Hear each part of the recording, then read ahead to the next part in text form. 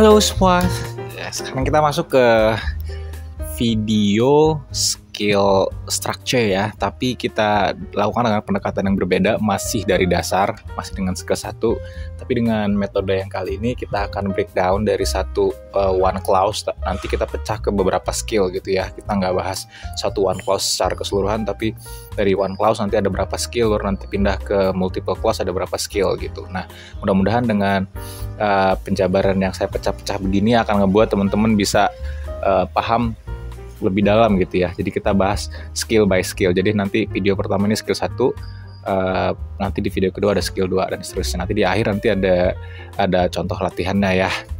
Oke, langsung aja. Skill pertama ini adalah um, be sure that the sentence has a subject and a verb. Uh, informasi aja buat teman-teman ini saya ngambil materi dari Longman ya preparation. Jadi buat teman-teman yang mau belajar TOEFL gratis bisa langsung aja um, ikutin video ini gratis ya buat teman-teman yang mau persiapan satu bulan deh satu hari satu skill satu hari satu video syukur-syukur bisa satu hari dua video gitu-gitu ya jadi kita langsung masuk aja Bismillah ini skill satu uh, di sini teman-teman harus memastikan bahwa kalimat itu memiliki setidaknya satu subjek dan predikat. Nah, skill ini yang kita pelajarin. Langsung aja yuk kita masuk. Uh, Oke. Okay. Ini dia. Yang pertama teman-teman harus tahu adalah struktur kalimat ya. Jadi kalimat itu harus lengkap, memiliki setidaknya satu subjek dan predikat. Contohnya ini nih, ada Budi makan pizza ya uh, tahu Theo adalah seorang dokter. Nah Budi makan pizza ini saya udah kasih warna beda. Yang Budi ini uh, saya kasih warna hitam bold, artinya subjek ya. Sedangkan makan di sini saya kasih warna merah yang artinya predikat. Nah dalam bahasa Indonesia itu seperti ini dan dalam bahasa Inggris akan seperti ini guys. Budi eats pizza. Ini yang dimaksud dengan satu subjek dan satu predikat. Saya udah kasih tanda S dan P. Nah pizzanya apa? Ya ini objek ya. Jadi dulu kita waktu sekolah um, bahasa Indonesia ada SPOK ya pola kalimat. Nah ini dalam bahasa Inggris juga sama. Jadi harus ada subjek, ada predikat. Nah contoh kalimat lain adalah Theo adalah seorang dokter. Dalam bahasa Inggrisnya Theo is a doctor. Nah ini yang hitam adalah subjek, yang merah adalah predikat. Nanti berikutnya saya akan simbolkan dengan S dan P gitu ya. Oke, um, lanjut. Lalu uh, tips mengenali subjek. Dalam kalimat itu kita harus tahu mana subjeknya, mana predikatnya. Nah, gimana sih caranya kita bisa ngenalin subjek? Itu pertanyaannya. Oke, pelan-pelan kita bahas. Yang pertama, ciri-cirinya adalah dengan ada tanda the, e, dan en ya di depannya ya. Biasanya seperti itu. Jadi kalau ada the, e sama en, kemungkinan besar mereka ini adalah noun phrase atau kata frasa kata benda. Nah, kata yang boleh jadi subjek adalah kata benda atau frasa kata benda ya. Nah ini the American food berarti makanan Amerika. A black cat kucing hitam. An apple sebuah apel. Jadi ini subjek ya, boleh jadi subjek. Atau ciri lainnya adalah diawali huruf besar guys. Misalnya gini, San Andreas nih kan hurufnya S depan gede ya kapital. Yang ini juga Andreas kapital jadi San Andreas sebuah nama ya. E, kalau dia sebuah nama ya berarti dia kemungkinan besar boleh menjadi subjek. Ya namanya proper noun. Tony Mueller gitu juga nih. Lalu ada ciri imbuhan guys. Kalian bisa ngecek subjek dengan imbuhannya. Misalnya gini. Nah, imbuhan-imbuhan seperti ini ini adalah imbuhan-imbuhan untuk kata benda. Biasanya imbuhan ini akan menempel ke kata dasar. Contohnya misalnya ini sadness. Kata dasarnya sad, sedih ya. Sedih itu kata sifat, tapi ketika dikasih ness menjadi kata benda, kesedihan. Atau ion-ion. Infirm itu kata kerja artinya menginformasikan, tapi dikasih tion berarti information sebuah informasi gitu jadi kata benda nah ini berikutnya seperti ini nah, beauty ini ty ya beauty itu kecantikan. Tapi kalau dikasih full ada imbuhan full berarti dia cantik. Jadi ini cantik itu kata sifat sedangkan beauty adalah kata benda. Oke okay? atau age-age nih marriage and friendship friendship friendship. Ya. Oke okay. uh, eh, selain ciri imbuhan benda ada juga ciri imbuhan buat orang. Nah ini contohnya nih. Uh, kata dasarnya teach dikasih er menjadi teacher teach itu kan mengajar kata kerja dikasih er menjadi pengajar atau guru. Yang juga sama act. Act itu artinya bertindak ya. Dikasih or jadi actor jadi uh, aktor ya. Lalu ada tour. Tour dikasih is tourist. Music dikasih ian jadi music musician. Oke, jadi ciri-ciri ini juga bisa ngebantu teman-teman untuk mengenali mana subjeknya ya. Ingat nih kalau ada the en, huruf besar, imbuhan, imbuhan. Lalu juga yang gak kalah penting di subjek itu boleh juga berupa kata ganti ya seperti ini. Ada I, you, they, we, she, he, it. Ayu Dewi, saya, kamu, mereka, kita, uh, dia cewek, dia cowok, itu benda ya yang atas ini plural atau kata subjek jamak ya subjeknya banyak ini subjeknya yang satu. Oke kalau sudah kenal subjek apa langkah selanjutnya? Yaitu kenali predikat. Nah cara gampang dalam mengenali apakah kalimat itu benar atau enggak teman-teman bisa langsung potong dulu predikatnya cari predikatnya dalam sebuah kalimat. Nah kalau udah ketemu predikat dalam sebuah kalimat maka tinggal cari aja di sebelah kirinya atau um, sebelum predikatnya berarti dia dia subjek kan polanya SP ya kan? SPO berarti kalau sudah ketemu P berarti sebelah udah ketemu P berarti sebelahnya sebelah kirinya adalah subjek Nah, ciri-ciri predikat itu yang pertama berupa to be, guys. Ya, kalau udah ada to be, is, was, are, were, ini berarti dia predikat. Udah langsung aja potong, ini predikat berarti. Atau berupa auxiliary, ada have, has, had, do, does, dan did. Atau ada modal. Modal itu nih, can dotnya bisa, will tuh akan, shall tuh akan, may itu mungkin atau boleh, must tuh harus. Jadi kalau teman-teman ngelihat ini berarti ini adalah pasti predikat ya. Hafalin aja.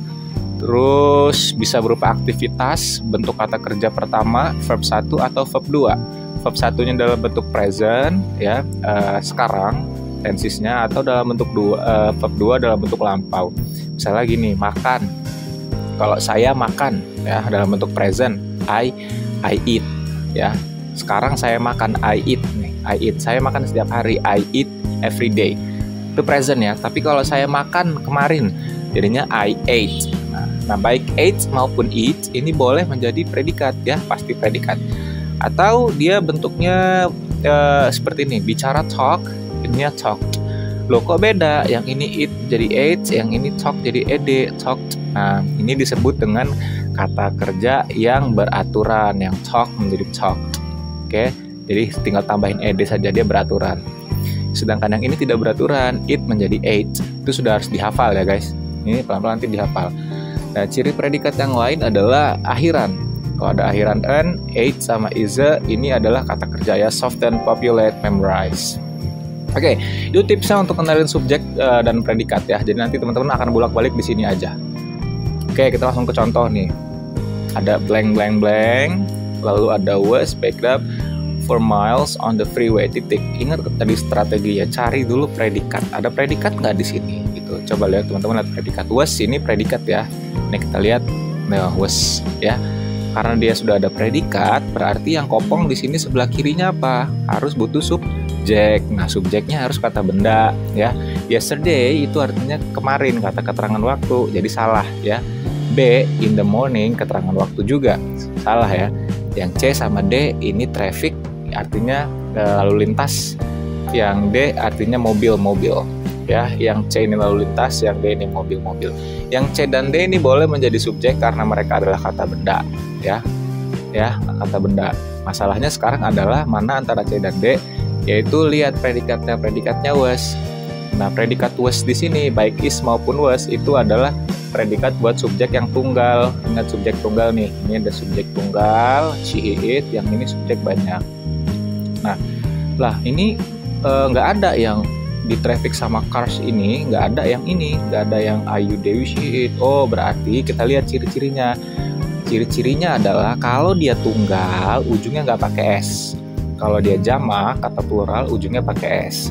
Nah, karena predikatnya was untuk tunggal, maka jawabannya adalah yang C, traffic gitu ya. Cara ngejarnya gitu guys. Oke, kita lanjut ke contoh nomor 2. Engineers blank blank blank for work on the new space program. Oke, kita lihat ada predikat nggak di sini di kalimat ini? Nggak, nggak ada predikat ya. For work ini bukan predikat guys.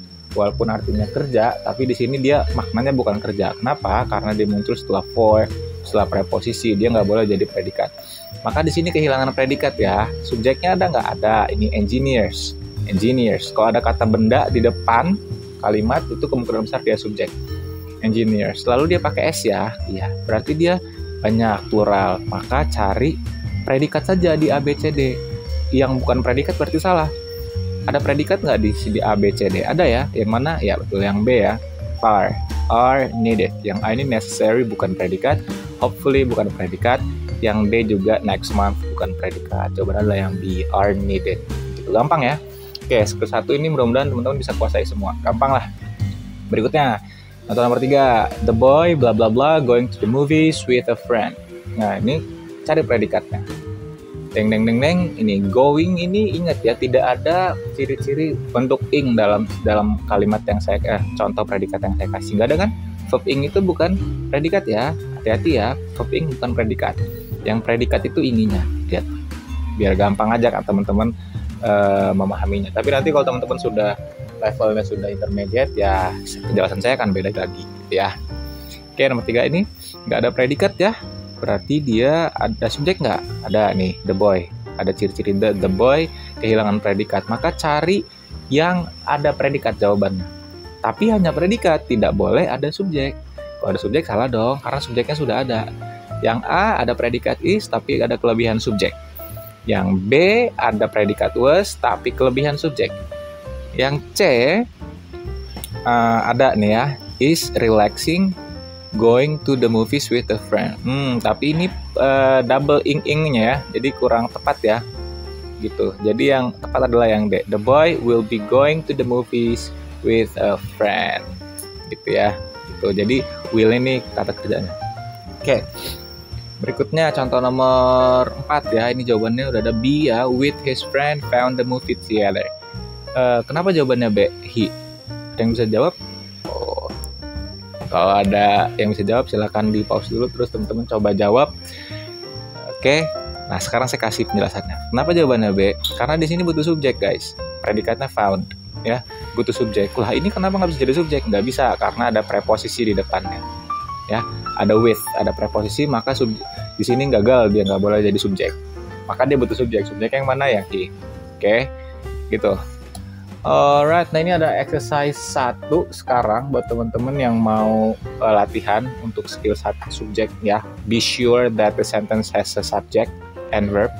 Jadi ini contoh latihannya nomor 1 sampai nomor 10. Teman-teman tugasnya adalah menggarisbawahi uh, subjek dan predikat. Oke. Okay? Garis satu itu subjek, garis dua itu predikat ya.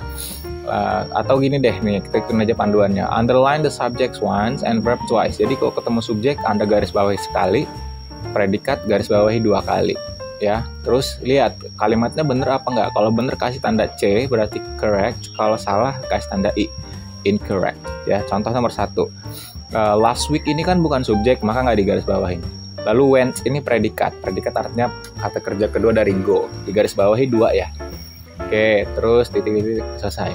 Uh, kalimat ini salah guys. Kenapa? Karena predikat ini nggak punya subjek. Last week itu kan bukan subjek ya, jadi ini salah gitu. Tapi teman-teman tetap garis bawahi dua bahwa ada went sebagai kata kerja. Ini kata kerjanya ada gitu, tapi nggak ada subjeknya gitu. Maka jawabannya salah. Yang nomor dua, kita lihat ada subjek nggak ada a schedule ya, a schedule. Uh, lalu predikatnya ada can nih, can ya berarti ini garis satu, ini garis dua Bener nggak kalimatnya? Bener, karena ada satu subjek, ada satu predikat. Di akhir tanda baca berarti ini adalah sebuah kalimat. Jadi jawabannya adalah C. Oke, jadi itu contoh soalnya, teman-teman, eh, contoh penjelasannya. Sekarang teman-teman kerjain nomor 3, 4, sampai nomor 10. Nanti kalau sudah dikerjain, teman-teman silakan um, tunggu video selanjutnya tentang be careful of object of prepositions uh, di skill 2 tapi sebelum masuk ke skill 2 saya akan kasih jawaban dari uh, soal ini gitu ya. Jadi teman-teman kerjain dulu. Nanti habis itu teman-teman bisa cek jawabannya di video selanjutnya.